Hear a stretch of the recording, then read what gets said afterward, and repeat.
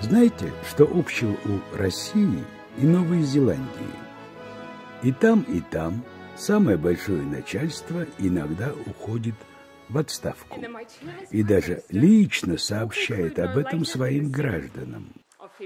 Вот совсем недавно 46-летний премьер-министр Новой Зеландии Джасинда Ардерн так и заявила всему честному новозеландскому народу.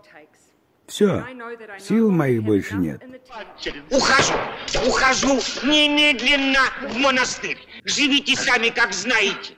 Она чуть не расплакалась, заявляя об отставке.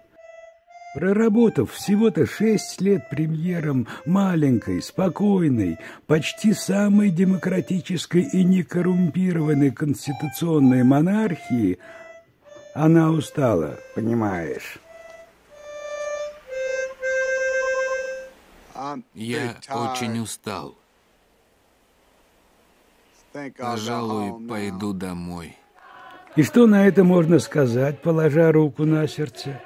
Милочка моя, ты не видела уставшего президента, который почти десять лет рулил огромной, разоренной, раздираемой конфликтами и олигархами страной, готовой свалиться в пропасть.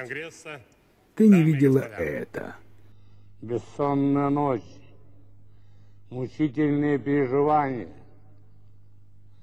Что надо сделать, чтобы людям хотя бы чуточку, хотя бы немножко жилось легче и лучше. Не было у меня более важной задачи.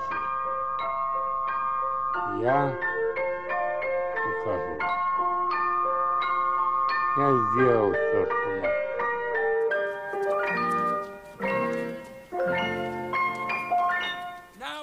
А нам что делать?